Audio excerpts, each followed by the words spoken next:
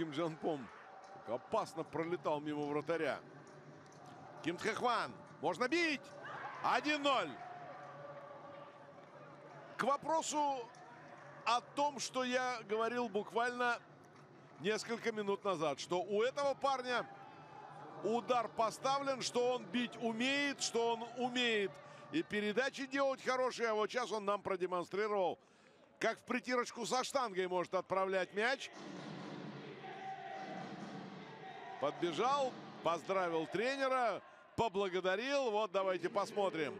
Смещается и сразу удар в дальний угол. Очень здорово. Как не пытался вытянуться в струнку Тхехили.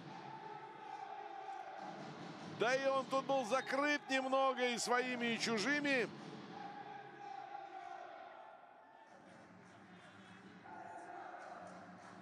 Честно говоря, я думал, что э, на перерыв уйдем при счете 1-0.